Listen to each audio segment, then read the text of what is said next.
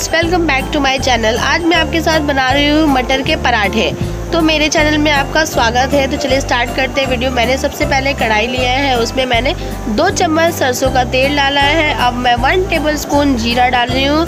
अब मैं इसमें वन टेबल स्पून हींग डालूँगी। इसमें अब हम सात से आठ लहसुन की कलियाँ डालेंगे और यहाँ पे मैंने हरी मिर्च डाली है। चार से पाँच हरी मिर्च है, मैं बस इसे तोड़कर उसे डालूँगी। अब मैं यहाँ पे लगभग दो कप मटर, ग्रीन मटर डाल रहे हैं। ग्रीन मटर डाल के इसे अच्छी तरीके से हम भुनेंगे जब तक ये थोड़े सॉफ्ट ना हो जाए।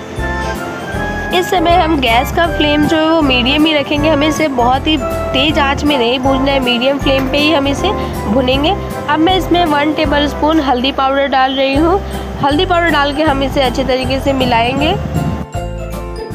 अकॉर्डिंग टू टेस्ट हम इसमें नमक ऐड करेंगे। नमक जो आप अपने टेस्ट के अनुसार डाल सकते हैं। अब हम इसमें वन टेबल स्पून धनिया पाउडर डालेंगे। धनिया पाउडर में बहुत ज़्यादा नहीं डालना, जिससे ये बहुत ज़्यादा मसाले मसाले हो जाएँगे, हम इसे पराठे बनाएँगे। तो बहुत ही कम मसाले में इसे हम पराठे बनाएँगे। अब मैं यहाँ पे वन टेबल स्पून गर्म मसाला डाल रही हूँ। गर्म मसाला डालने से इसका टेस्ट और भी अच्छा हो जाता है। अब देखिए, हमारा मिक्सचर जो है वो बन के रेडी है। अब हम इसे गैस का फ्लेम ऑफ़ कर देंगे और आटा का डो लगा लेंगे। आटा का डो लगाने के लिए मैंने यहाँ पे लगभग 500 ग्राम आटा लिया है।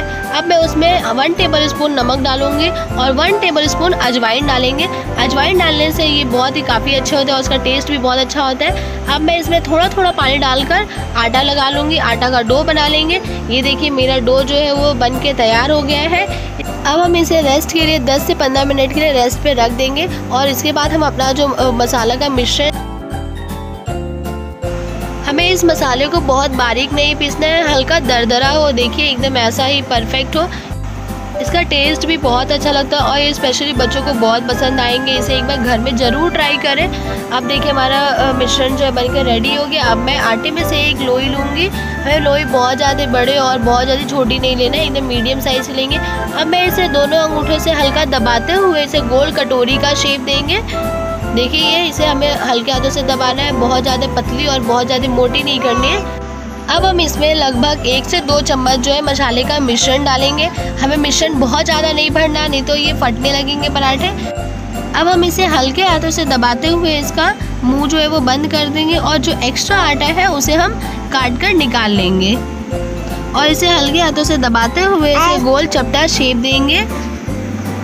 अब हम इसमें थोड़ा सूखा आटा लगाकर इसे बेलन की सहायता से, इसे हल्के हाथों से एकदम बेलेंगे। हमें बहुत ज़ोर से बेलन को प्रेस नहीं करना है, नहीं तो ये पराठे जो है वो फटने लगेंगे। ये देखिए, मैंने कितने अच्छे से बेल दिया है और ये बहुत ज़्यादा पतले और बहुत ज़्यादा मोटे भी नहीं है, एकदम परफेक्ट है। अब हम पराठे को इसे अच्छी तरीके से सेकेंगे। और सेकने के लिए आप यहाँ पे कोई भी कुकिंग ऑयल का इस्तेमाल कर सकते हैं या घी में घी से भी आप सेक सकते हैं। अब देखिए, इसे हम दूसरी तरफ़ चेक कर लेंगे। देखिए, ये दूसरी तरफ़ भी अच्छे से पक गए हैं। अब मैं इसमें घी लगा रही हूँ। घी स्प्रेड कर देंगे और इस घी लगाने के बाद हम इसे दूसरी तरफ़ से अच्छे तरीके से सेकेंगे, जिससे ये पूरे तरह से पक जाए और एकदम फूले फूले बहुत ही टेस्टी बहुत ही लाजवाब पराठे बनेंगे। ये देखिए, ये अपने आप ही फूलने लगेंगे और ये आपके पराठे फटेंगे भी नहीं और बहुत ही टेस्टी बनेंगे। अगर आप पराठे घी में सेक रहे हैं तो फिर उसका स्वाद ही बहुत काफ़ी अच्छा आता है और वो काफ़ी टेस्टी लगते हैं पराठे स्पेशली बच्चों को बहुत पसंद आते हैं। इसे एक बार घर में ज़रूर ट्राई करें। अगर मेरी वीडियो आपको पसंद आए तो इसे अपने फ्रेंड फैमिली के साथ शेयर करेंगे। और आप अगर मेरे चैनल पे न्यू हो तो मेरे चैनल को सब्सक्राइब करना ना भूलें और साथ ही बेल आइकन को हिट करें, जिससे आगे आने वाली और इंटरेस्टिंग वीडियो आपको सबसे पहले मिले। इस पराठे को आप मीठी चटनी के साथ या केचप के साथ या फिर पुदीने धनिया पत्ती की चटनी के साथ आप सर्व कर सकते हैं। मैंने यहाँ पे केचप के साथ सर्व किया, ये बहुत ही टेस्टी है, देखिए, खाने में बहुत ही अच्छे लगते हैं। ये देखिए कितने भरे भरे हैं। इसे घर में एक बार ज़रूर बनाएँ और मुझे कमेंट करके ज़रूर बताएँ कि आपको ये वीडियो कैसी लगी। तो चलिए मिलते हैं नेक्स्ट वीडियो में। Thank you